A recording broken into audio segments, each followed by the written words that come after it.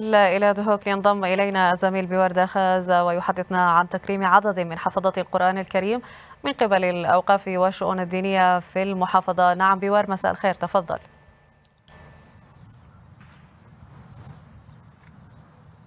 نعم مساء الخير عليك ديما وعلى إبراهيم.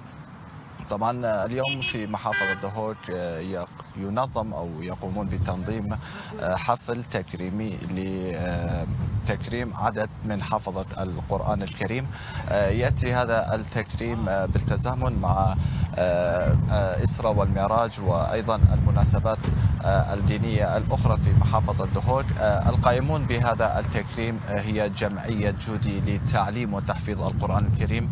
بالتعاون مع مديرية العامة للأوقاف والشؤون الدينية في محافظة دهوك عدد الذين سيتم تكريمهم 36 شخص 14 منهم من الذين حفظوا القرآن بسند متصل كامل والآخرون فقط القراءة. يأتي أيضا هذا السند المتصل المعروف أنه إنه هؤلاء الأشخاص الذين سوف يتم تكريمهم أيضا سوف يمنح لهم إجازة إجازة لكي يقومون هم أيضا بعد ذلك بتعليم وتحفيظ القرآن لتلاميذهم. السند المتصل يأتي من الشيخ والشيخ الذي تم تدريسه وتعليمه أيضا استلم هذا السند من الشيخ الذي فوقه.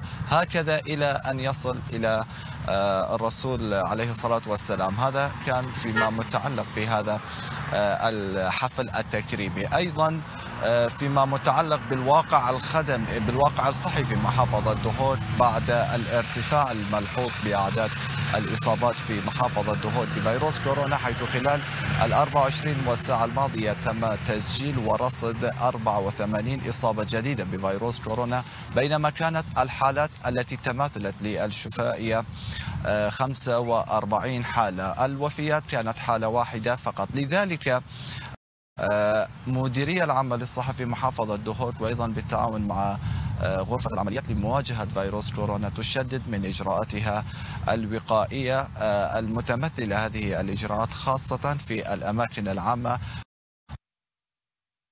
والتجديد على ارتداء الكمامات في الأسواق المراكز التجارية. أيضا تجديد الغرامات أو العقوبات ومحاسبة المخالفين من الذين لا يلتزمون بهذه القرارات. كما أيضا هناك لجان متابعة هذه الأماكن لكي من جهة يقومون بمحاسبة المخالفين وأيضا من جهة أخرى لنشر التوعية بين المواطنين للالتزام بالتعليمات الوقائية. باختصار هذا ما موجود لدي من محافظة دهوك. نعم يعني بور على ما يبدو الطقس في دهوك مشابه لما هو في أربيل. هناك رياح عالية ربما تسبب بعض الانزعاج للأشخاص. أيضا هذه فرصة لأقول لك مبارك في ذكرى تأسيس زاغروس. شكرا جزيلا لك.